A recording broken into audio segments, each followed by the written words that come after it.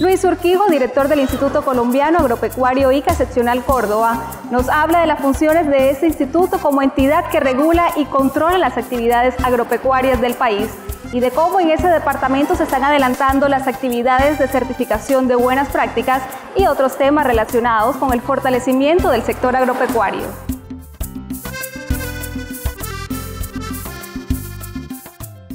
El ICA es una entidad eh, que es a nivel nacional, el cual tiene como misión pues, eh, velar por la sanidad animal y vegetal eh, en el departamento de Córdoba. Nosotros como autoridad sanitaria tenemos un control sobre las enfermedades, ¿no? En este caso lo llamamos enfermedades de control oficial, las cuales son, entre las más conocidas, pues tenemos la famosa fiebre actosa, que es la que hoy en día nosotros nos encontramos como país libre con vacunación, reconocidos a nivel internacional por la OIE. En ese sentido seguimos trabajando para que eh, la sanidad eh, del departamento en específico eh, se continúe. En ese sentido trabajamos con la Federación de Ganaderos de Colombia, eh, en la parte del departamento, eh, con todo lo que tiene que ver con la vacunación. Igual también manejamos la parte de brucelosis y tuberculosis, que eh, en el departamento tenemos hasta el momento unos bajos niveles de, certificación con relación a este tipo de enfermedades, pero venimos, ¿no? y el ICA a nivel nacional está tomando ya las medidas necesarias para que precisamente estos niveles en el departamento, donde estamos reconocidos como uno de los departamentos ganaderos por excelencia, se lleguen a tener unos altos niveles de certificación. El ICA ya ha iniciado, la, eh, para este año se rebajaron ya las tarifas de diagnóstico, el cual ayuda a que el ganadero, desde el pequeño hasta el grande, tenga la posibilidad de acceder a, diagnosticar sus, sus actos ganaderos con relación a este tipo de enfermedades. Igual tenemos la enfermedad de la rabia, eh, que también estamos haciendo los controles que se requieren con eso. Eh, tenemos eso dentro de nuestra misión para precisamente mantener ese estatus sanitario y esos niveles de, de, eh, eh que tenemos en algunas enfermedades de este tipo, pero que, por, tener algunos vecinos a nivel eh, nacional o a nivel de país que no, llevan estos mismos controles que tenemos nosotros en Colombia, pues nos ha tocado eh, mantener siempre la guardia en alto para continuar.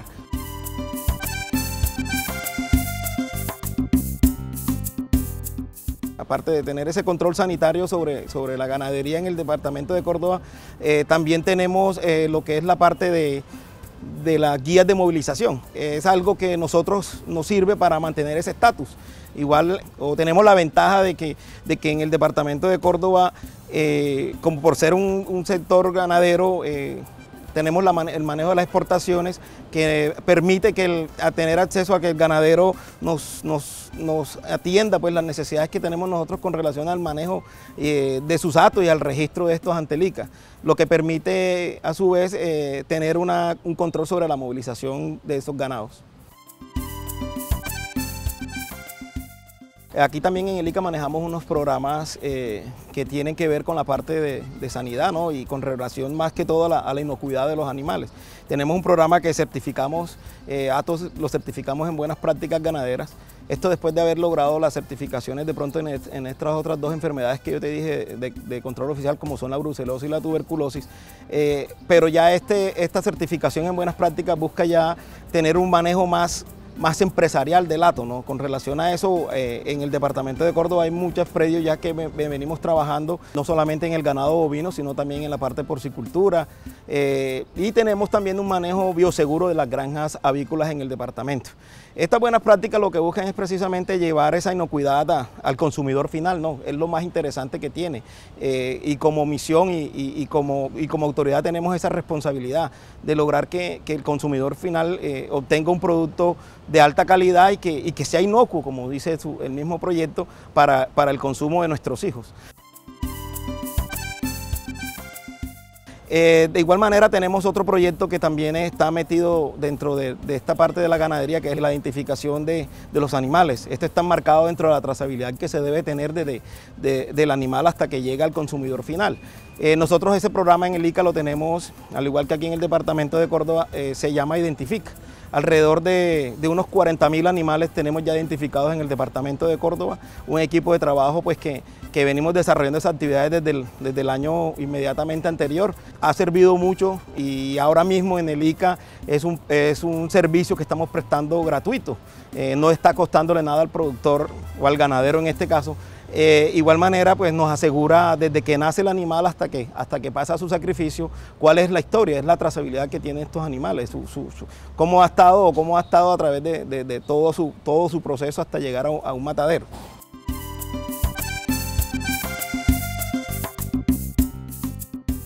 Pues con relación también a, otras actividades que hacemos nosotros, el ICA tiene, eh, tiene mucho que ver, o, es la autoridad en la parte fitosanitaria, como lo ha dicho, tiene que ver mucho con la parte de, de lo que es la agricultura en el departamento. Eh, en este momento estamos en una etapa de, la, de un cultivo transitorio como el maíz. Eh, nosotros a nivel de ICA pues hacemos un seguimiento a través de un proyecto que tenemos en, el, en la entidad que se llama eh, Proyecto de Maíz en el Departamento de Córdoba.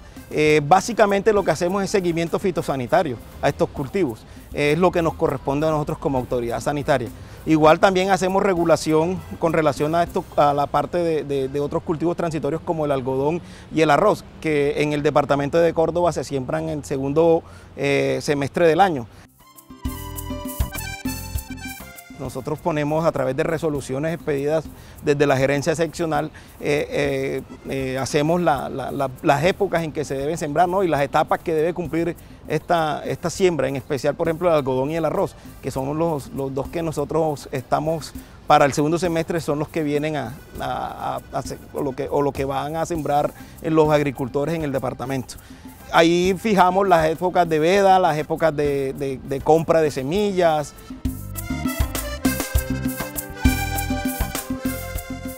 Otra actividad importante que hacemos también nosotros a nivel de ICA y en el departamento de Córdoba también se realiza es el control de los insumos.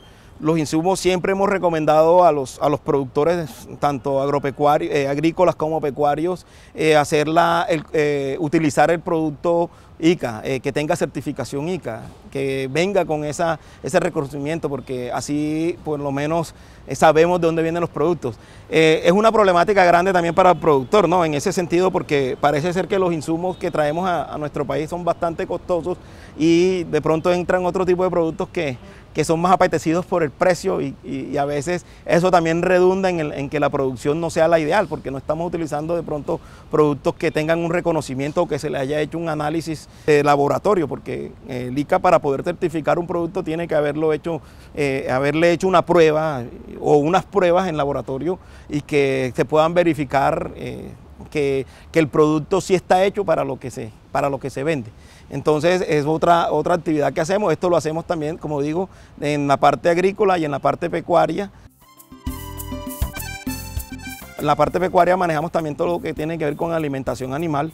Eh, hacemos un control sobre todos eh, esos productos que se venden en los diferentes almacenes agropecuarios eh, para todo tipo, para todas las especies de animales. En este sentido, llevamos un control en todo el departamento a través de un proyecto que, es manejo de insumos o insumos agropecuarios y agrícolas, que le da garantía al productor y al usuario de de, consumir un producto o de utilizar un producto o un herbicida que, le permita eh, verdaderamente atacar el problema que tengan dentro de su, dentro de su, dentro de su cultivo o, o lo que quieran hacer pues, con relación a la parte de alimentación o sustentación animal.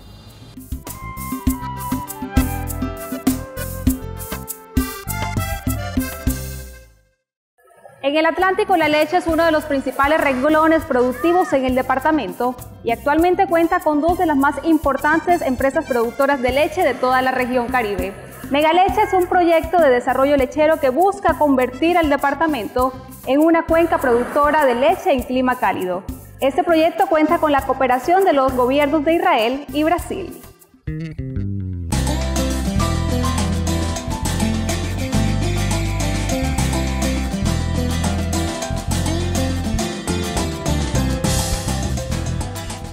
El programa de desarrollo lechero eh, lo que busca es eh, transformar el departamento del Atlántico en una verdadera cuenca productora de leche en clima cálido. Eh, como ustedes saben, el departamento del Atlántico, la leche es su principal renglón productivo dentro de toda la actividad agropecuaria. No es gracia que aquí en el Atlántico estén las dos industrias lecheras más importantes de la región Caribe como son Colechera y Sileco. Y, el sector en realidad ha transitado por todo el desarrollo de la actividad lechera, eh, desafortunadamente por algunas debilidades institucionales durante los últimos 30 años en investigación, asistencia técnica, eh, los mismos tratados del libre comercio, anteriormente la apertura económica, tuvo un traspié la actividad, ahora con este programa lo estamos reactivando. En el Departamento del Atlántico está en el proceso de reactivación del sector lechero, del cual se había visto diezmado a raíz de los tratados de libre comercio con otros países asiáticos y varios de la Unión Europea, además de la apertura económica y de los otros procesos económicos en el país. Eh, con esto esperamos cubrir unos mil productores y obviamente eh, el objetivo es generar unidades productivas eh, financieramente viables, competitivas, rentables y sostenibles.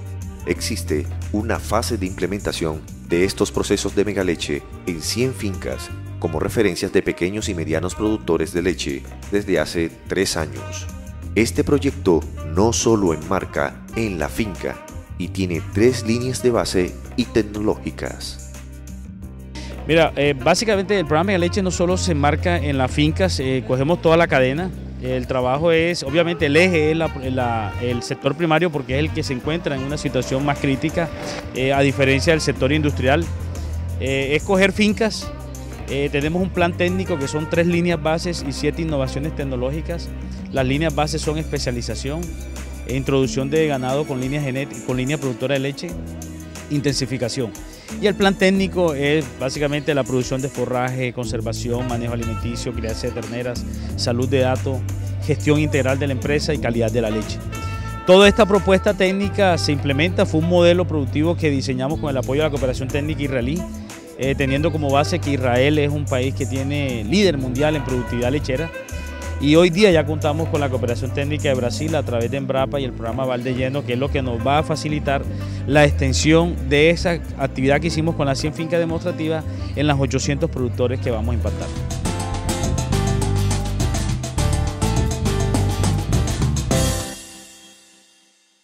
En el mundo existen gran variedad de abonos orgánicos, pero hoy conoceremos la función, la importancia de aquellos que surgen con la lombriz de tierra. A continuación tendrá consejos prácticos tanto para pequeños como grandes agricultores sobre la forma como se debe aplicar este tipo de abono.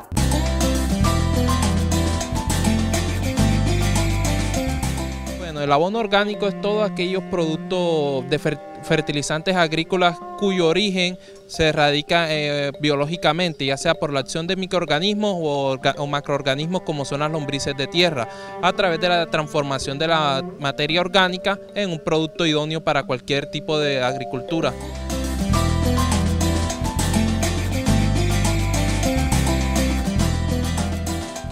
Los abonos biológicos son aquellos abonos vivos son compuestos principalmente por microorganismos. Ya hablamos lo que son bacterias fijadoras de nitrógeno, hongos entomopatógenos o cualquier otro microorganismo que le dé un beneficio a la planta o a nuestros cultivos. En el caso de la lombriz es un abono orgánico porque nosotros el producto que nosotros utilizamos son los desechos de la lombriz de tierra, se podría decir las excretas de la lombriz. La lombriz, ella como nosotros le aplicamos materia orgánica, en el caso de nosotros, raquis de palma, lodo de la agroindustria, ella lo pasa por su tracto intestinal y con la ayuda de microorganismos, ella se excreta un producto idóneo para cualquier cultivo, ya sea de pancoger, agroindustrial, etcétera. Son importantes las recomendaciones que debemos tener en cuenta si tenemos un terreno el cual no se ha sembrado a la hora de aplicarle abono orgánico o abono biológico. A la hora de cultivar, una vez se comience a cortar la maleza o todo esto, el proceso de limpieza de árboles y arbustos en los lotes, una vez finalizado se aplique abono biológico que es el tricoderma. ¿Por qué? Porque el tricoderma le va a ayudar a evitar de que hongos patógenos u otros patógenos conquisten esos desechos de, plantas. Estamos hablando de aquellos hongos como son el fusarium, este, fitóptora, entre otros hongos que atacan directamente a los, a los cultivos o a las plantas vivas. Son muchos los beneficios o las ventajas que obtendremos en nuestra tierra y en nuestros cultivos cuando utilizamos abonos biológicos, que son fertilizantes más completos y además mantienen el equilibrio biológico del suelo y evitan las enfermedades en las plantas plantas. De los organismos biológicos que tenemos, el tricoderma, el efecto que él tiene, pues además de evitar el ataque de hongos patógenos, también contribuye a, hacer, a la planta produciendo fitohormonas y otras sustancias que promueven el crecimiento vegetal de nuestros cultivos y plantas. Para las tierras que son utilizadas para cultivar productos de pan coger, cuando es utilizado este tipo de abono, es poco el tiempo en recoger sus frutos. En el caso de los productos de pancoger, nosotros sugerimos en las aplicaciones de abonos foliares. Eso usted ve los resultados en 21 días a 15 días, ve los resultados, un mayor follaje, mejor color, disminución de las plagas y sobre todo a la hora de cuando usted va a recoger su producto de pancoger, encuentra una mayor producción en, en, términos de mayor tamaño del fruto, mayor peso y sobre todo es un producto 100% orgánico limpio de agroquímicos.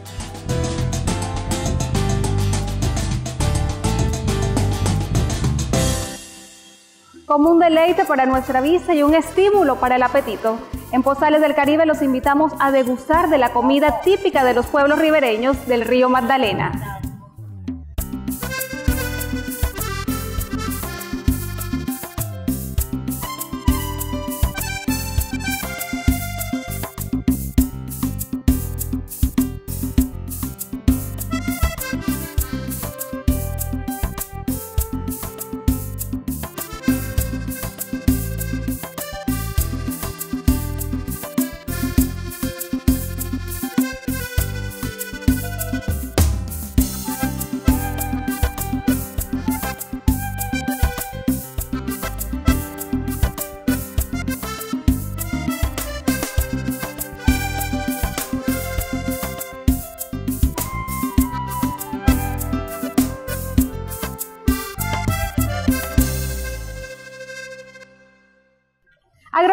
Tiene toda la información del momento y el periodista Fabián Lesmes nos trae toda la información del sector agropecuario.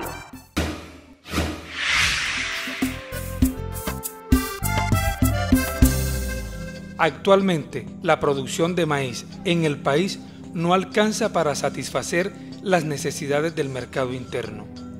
En Colombia se necesitan 5 millones y medio de toneladas de maíz y en este momento solo se produce una tercera parte. Henry Vanegas, director ejecutivo de FENALCE, nos presenta un balance de la exportación del maíz y de otros cereales en Colombia. Con la actual situación de la sequía, se dejan, de producir en la costa caribe 300 mil toneladas, de las cuales 100 mil deja de producir Córdoba, 200 mil los otros seis departamentos de la región caribe. Por lo tanto, el maíz tiene mercado, el maíz tiene demanda, el maíz tiene una gran demanda interna que importamos 3.6 millones de toneladas que se la disputan entre Estados Unidos y el Mercosur, que quieren que ese maíz que consume Colombia sea de ellos. Por lo tanto, hay una gran oportunidad de mercado. Además, la logística, en lo que al transporte se refiere, se convierte en uno de los problemas que deben enfrentar los cultivadores de maíz, además de la ayuda que le brinde el gobierno para acceder a los nichos de mercado. Bueno, la comercialización del maíz, el maíz tiene un gran mercado, una gran demanda, hasta el punto que tenemos que importar. La condición de la comercialización tiene que ver con acceder a esos mercados, a esos nichos de mercado específicos con producción nacional y tiene que ver con facilitar ese acceso a través de mecanismos como apoyos en el transporte, eh, apoyos a la comercialización cuando una contingencia de precios bajos en el mercado internacional puede afectar y la situación de tener organizaciones asociativas que puedan comercializar en mayor escala, que sean las asociaciones las que vendan y no el productor individual y que podamos tener una economía de escala para poder proveer el maíz y los diferentes productos a precios competitivos con la situación del mercado local. El director ejecutivo de FENALCE aseguró que se están haciendo gestiones para abrir nuevas fuentes de mercado para productos derivados del maíz como el ensilaje.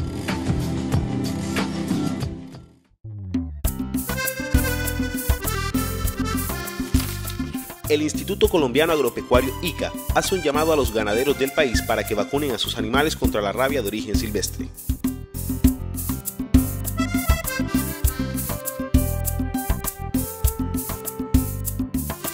el Comité Cebuista del Valle del Magdalena organiza la vigésima exposición Cebú, la vigésima exposición Brahma, la séptima exposición de ganado guir y la quinta exposición de ganado gucerat, que se llevará a cabo en la Dorada Caldas a partir del 31 de octubre.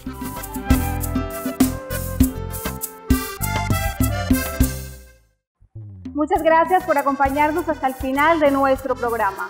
Recuerde, somos Agrolatina, del campo, para usted.